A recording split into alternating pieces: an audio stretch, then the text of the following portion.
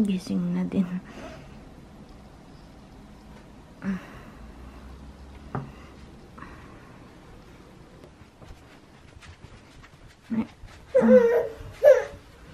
Ohayo. Ah.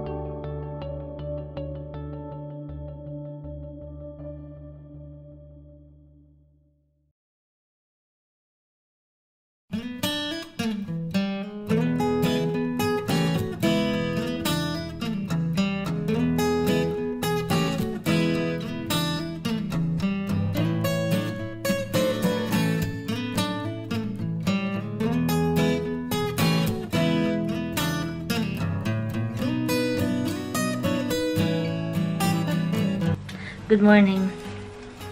So, ayun. Yun yung mga una kong ginagawa pagkagising. Dapat mas maaga akong babangon kaso si Meti siya. Sobrang takot siya. Kagabi pa siya nasigaw pagka inihiwalay ko sa akin. Pag binababa ko na. Metisha, what happened? Hmm? Why you are shouting? Did you saw bad dreams? Did you saw bad dreams?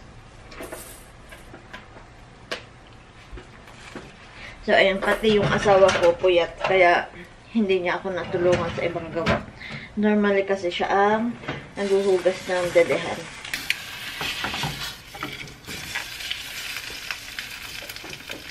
Siya nagpapalit ng Milton yung pang sterilize ng ano, mga gamit ni baby. At saka yung ano, breakfast ko. Sometimes, naluluto niya na. Eh, dahil puyat din siya. Tsaka first day ngayon sa work eh. Ayun. Habang inaantay ko yung winawashing ko, kakain muna ako. Dati si Metisha, dati si Metisha, ano, tanghali na yun, na gising. Eh, dahil nalaki na rin siya. Tsaka, ayun nga, mas ramdam niya na pagka wala na ako sa tabi. Gising na din.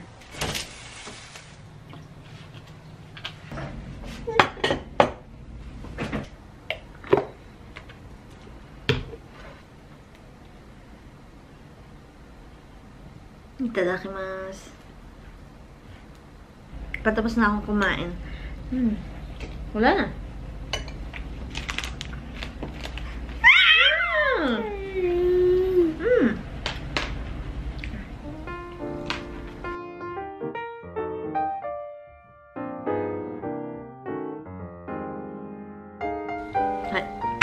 ごちそうさまでした。ごちそうさまでした. Ayun, ang vlog pala ngayon is, kita nyo naman sa title, pero ah, iba kasi yung weekdays routine namin. Medyo, medyo katulad, pero iba pagka, ah, pagka nandito si daddy at saka pag kami lang ni Metisha.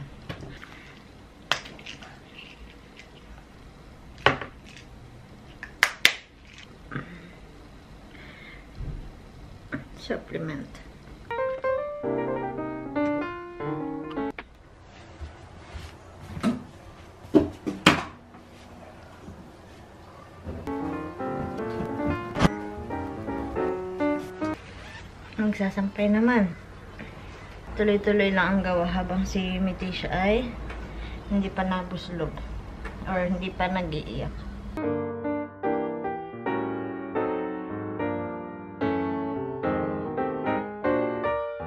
Ang lamig dito, 4 degrees. Mamaya, mas malamig pa. Susunod na araw, negative na. Pag na, 2 degree ganyan. 0 to 2. Dito, pagka winter, akala mo lagi ang daming lalabhan. Makakapal kasi ang suot. Kahit halimbawa, ano, isang araw lang, mukhang tatlong araw din naglaba.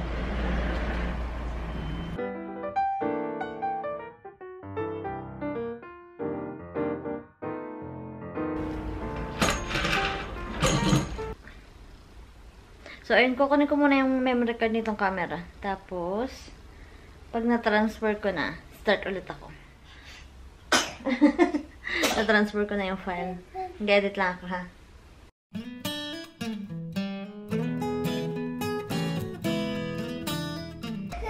Okay.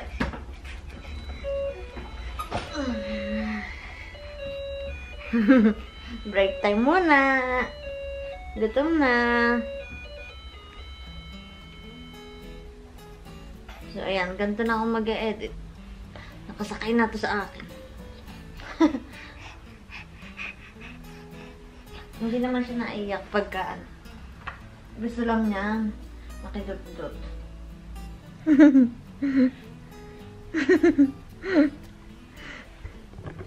Sige, mag-edit lang ako ha.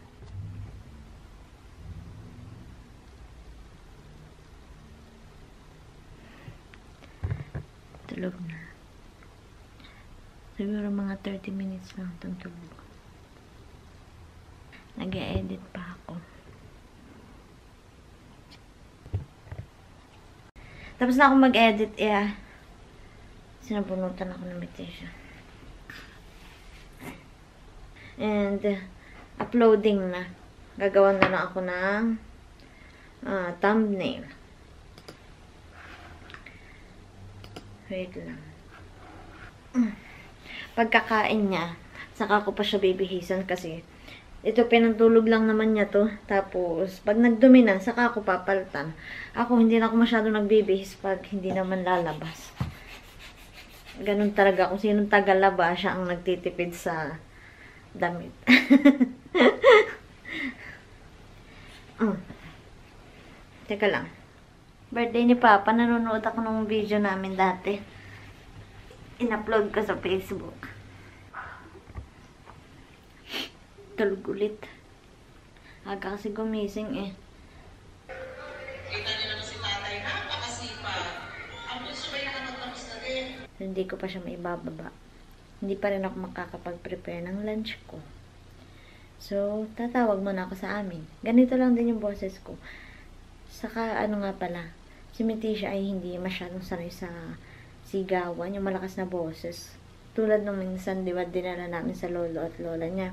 Medyo mahina na ang pandinig nila kasi matatanda na yun eh. Mga 90 plus na. Hindi medyo malakas yung boses nila. Medyo, eh, di, ano, takot na takot si Metisha. Ganito lang kami. Si Muga naman mahina lang din boses nun eh. Yun, pag may naririnig siyang malakas na boses, ano siya, naririndi. Alam niyo ba kahit sa hatching, nagigitla to na iyak. Kaya yun. Sige, tatawag muna ako sa amin. Bye-bye. Mamaya ulit. Update ko kayo pagkakain na kami ng lunch. Hi! It's lunchtime.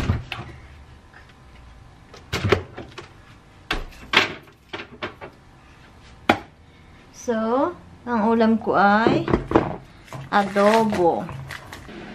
So, ayan. May kanin na ako, pero para sa dinner, magsasaing na ako ngayon. 5 cups. Iniinit ko lang yung adobo na niluto ko kagabi. Tapos, yung kanin ko init lang din.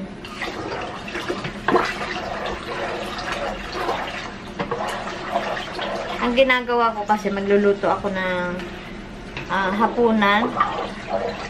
Tapos, pang lunch ko na rin yun. So, kinabukasan. So, luluto ako ng hapunan kasi nandito siya, nandito na. After work. Tapos, pangtanghalian ko na yun. Kasi iba ang kanyang dinner. Tapos, ay sa kampanya naman siya nagla-lunch. So, akin lang. Ano, no, no, no, no, no. No, no, no, no. No. Si Mitisha naman.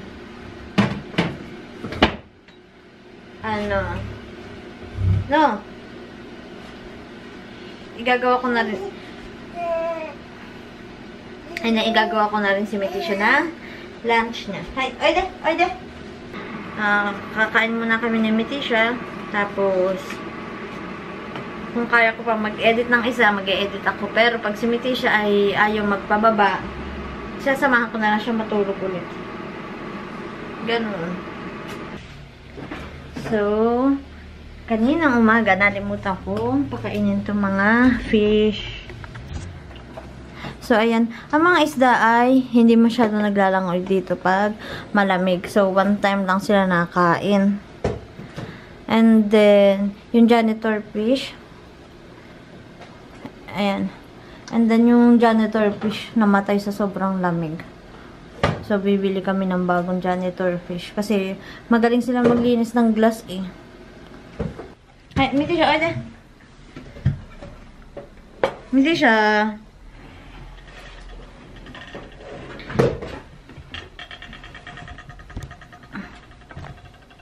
Miti siya. Naglalaro pa. Nakain muna ako kasi mainit pa rin naman yung kanyang pagkain. Pero paparito na siya. Ay, de. Magtuto na dito. Nakadalawang tulog naman siya. Kahit pa paano, eh, nakabawi-bawi sa puyat kagabi. Puyat eh. Hindi ko muna siya lalagyan ng bib kasi may rashes sa leeg. Kawawa naman. Mm. Ah. Mm. Yan ang ulam ko. Adobong manok. Hindi ko masyado mapokus. Hmm. Ah.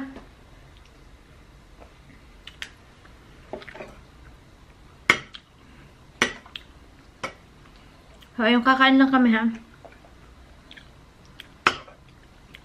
Balikan ko kay later. Tapos na akong kumain. Pinapaubos ko na lang yung Metisha. Dalawang kutsara na lang. Mm. Ah. Ah. Ah. Ah. Yan, na. Ah, last. Ah. Yan. Ah. Naishi? Mm. Ah. Mm. Hai. Oh, ごちそうさまでした。Oh, ごちそうさまでした。Hmm. Maghugas muna akong pinggan. Tapos, magbabalat ng pinya. Eh. Tapos, bibihisan si Tisha. Tapos, eh. So, ito, may bagong hugasan tayo ng kay Mitisha. Kukunin naman natin yung hinugasan kanina umaga. Para patuyuin.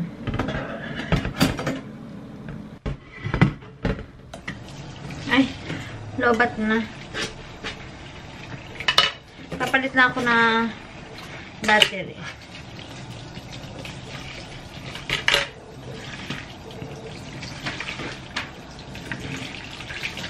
Ito ay turo sa hospital. Kumbaga, nung nandun ako, di ba, one week doon, tuturuan ka ng mga bagay-bagay, mga pagpapaligo, ganyan. Ito, sila din ang nagturo. So, hindi na, na hindi na kami nagpalit.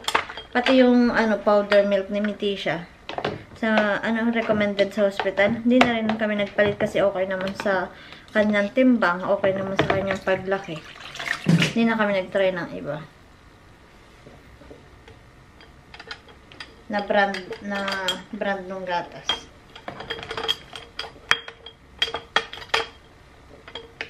Hindi rin naman namin alam.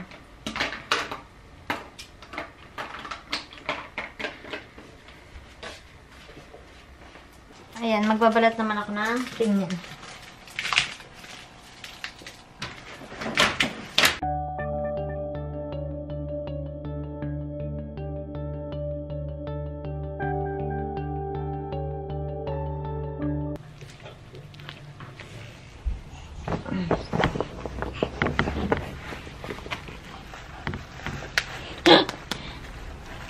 Kuha agad ng diaper. Kami ay kami po kami po ay gabi po naliligo. Kaya kung hinahanap niyo po yung part ng pagligo. Next vlog na po.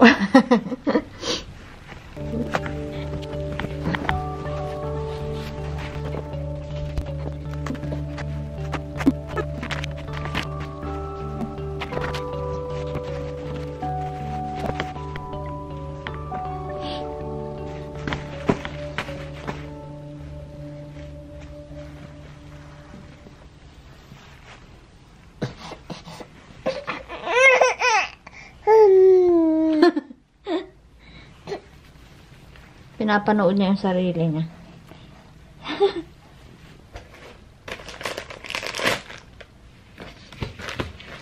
wait, wait, wait. Wait lang. Mm-mm. Behave muna, behave.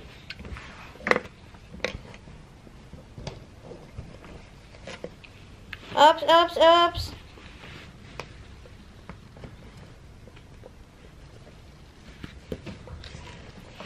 Wait lang.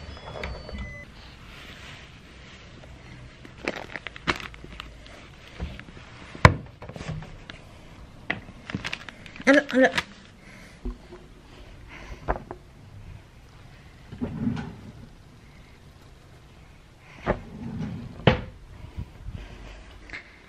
Ayan, bagong palitan naman ang damit. Alam mo, wala pa kami 30 minutes.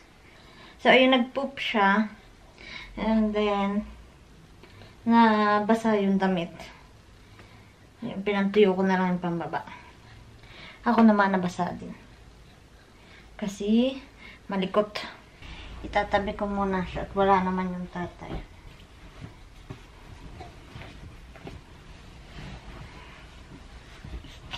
Ah. Ah. Ay. Yan ang gusto niya laruan. Remote. So, this is her third nap.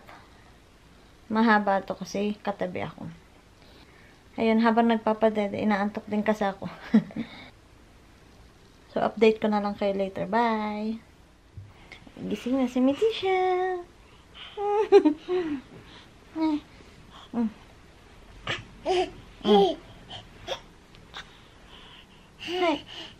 Hello! Ayan, so 2 hours siyang tulog. And then, sobrang lamig dito sa kwarto. 12 degree.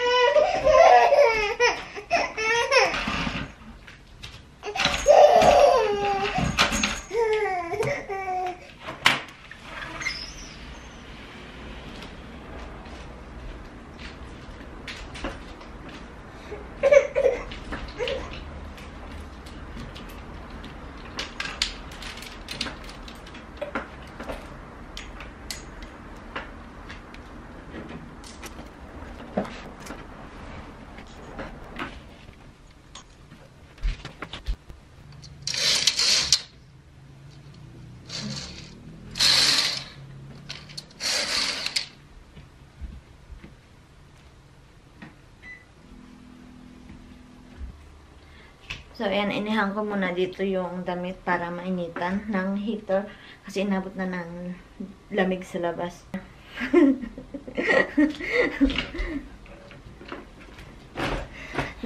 Natawa siya. so, ayan. Dito ko na rin tatapusin kasi yung pagluluto ng dinner, pagligo namin at paglilinis ng bahay ay kasama sa aming night routine. So, ayan. Dito ko natatapusin. Inihan ko na muna dito sa loob para mainita ng heater kasi inabot na ng lamig sa labas. Hmm. Nakatulog din kasi ako eh. Tapos, yung next video is our night routine. So, thank you for watching! Thank you for watching!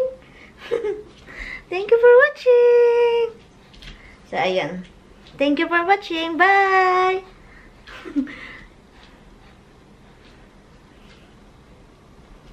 Ah, close it.